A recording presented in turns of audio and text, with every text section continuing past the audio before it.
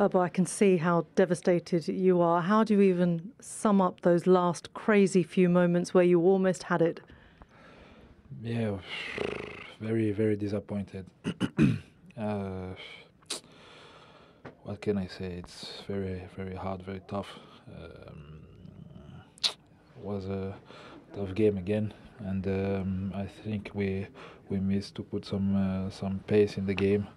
Um, that cost us a little bit today, and uh, yeah, the the last minute goal was uh, was yeah uh, unlucky for us, and yeah, that's it.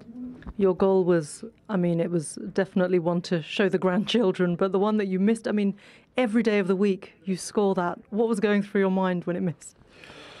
Yeah, uh, I I don't even know. I'm I'm very, I feel very very bad, and yeah, but that that can happen, and uh, I don't know how I missed this this this chance.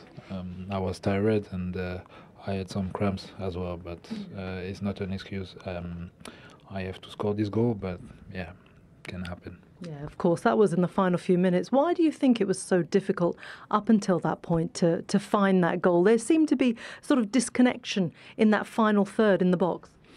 Yeah, but I think um, it was tough because uh, they play very di- uh, very deep. Yeah, and um, yeah, it was it was hard to to to find the solutions in the final third. So um, yeah, as I said, it was really a tough game and tough to find some spaces.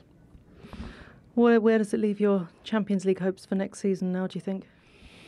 But we try to, to, to keep improving in the in the league, and uh, we try to, to win as many games as possible, and uh, we'll see uh, how how many chances we have to, to qualify.